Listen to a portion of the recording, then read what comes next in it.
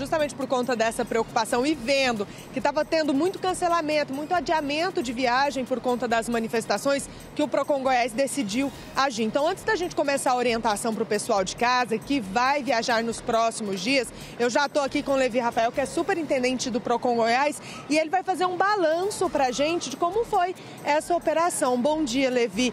Muito problema, a gente sabe que três empresas já foram autuadas só de ônibus aqui onde nós estamos. Teve muito problema. Quais foram os problemas que vocês mais encontraram?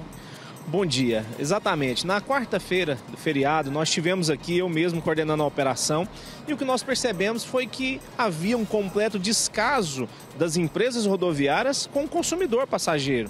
É bem verdade que não é culpa nem do passageiro e nem das empresas pelas manifestações que ocorreram os atrasos. Contudo, esse problema não pode ser repassado ao consumidor. Para isso que o Código de Defesa do Consumidor existe. É para tratar o consumidor de forma diferenciada. Portanto, as empresas deveriam no caso de cancelamento e as pessoas estando em trânsito, promover a hospedagem e a alimentação dessas pessoas. Eles não fizeram. Para aquelas pessoas que tiveram as passagens compras aqui, residentes em Goiânia, e quiseram a restituição, encontraram uma enorme dificuldade. Quando ia no guichê, pediam para entrar em contato com o serviço de atendimento ao cliente.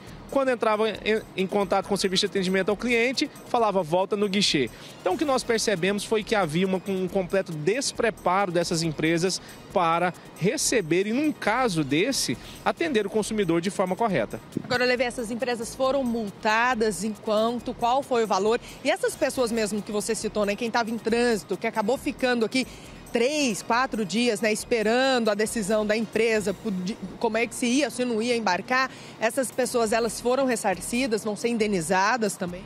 Bom, na quarta-feira nós autuamos três empresas aqui na, na rodoviária e ontem eu pedi para que a nossa equipe fizesse um pente fino em todos os serviços de atendimento ao cliente das empresas, porque a gente percebeu que parece que assim não existia esse serviço porque eu mesmo tentei falar em um dos serviços de atendimento ao cliente, fiquei por 11 minutos e não fui atendido. Ou seja, o que comprova a má prestação de serviço. Então, ao todo, já são seis empresas autuadas, três delas por má prestação de serviço, ou seja, ausência de assistência ao viajante, ao consumidor passageiro, e ontem três delas por defeito no serviço de atendimento ao cliente. As multas podem chegar a 11 milhões. É bem verdade que não será todo esse valor, mas eu lhes garanto que a multa não será barata.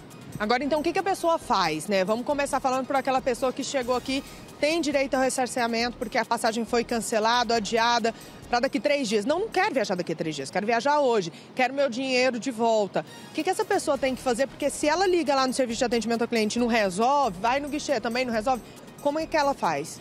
Bom, nós estamos com uma operação, estou bastante atenta a essas questões. Né? O consumidor tem direito, se a viagem foi cancelada, imaginemos alguém de Goiânia quer viajar para Palmas. Comprei a passagem e a passagem foi cancelada. o ônibus não vai sair mais hoje.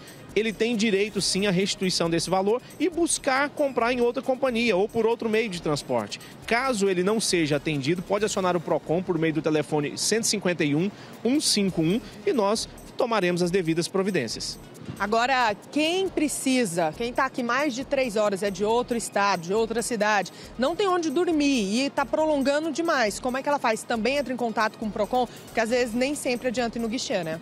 Sim, é importante dizer o seguinte, que se o seu ônibus está atrasado há mais de três horas, quatro horas, você tem direito à alimentação a, a companhia, né, a, a, empresa rodoviária deve proporcionar um voucherzinho ou algum tipo de situação para que você possa se alimentar aqui. Se isso não acontecer, acione o PROCON 151 que nós enviaremos a nossa equipe para cá e tentaremos resolver. Se não resolver, a empresa será autuada. Lembrando que isso também vale, o mesmo vale para quem está viajando de avião. Por falar nisso, teve também operação no avião, fiscalização no aeroporto, desculpa, teve fiscalização no aeroporto. Como é que está a situação por lá? Sim, ontem também nós enviamos uma equipe ao aeroporto Santa Genoveva de Goiânia e lá a situação estava mais tranquila. As empresas aéreas, uma vez que já estão acostumadas às intempéries e etc., parecem estar melhor preparadas para esse tipo de situação. Então lá ontem nenhuma empresa foi autuada, estava tudo transcorrem os embarques e os voos acontecendo normalmente, mas nós estamos atentos e estamos à disposição da população.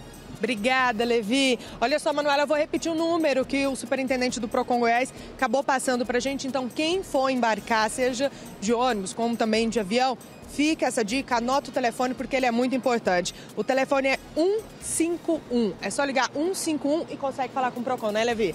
É isso, Manu.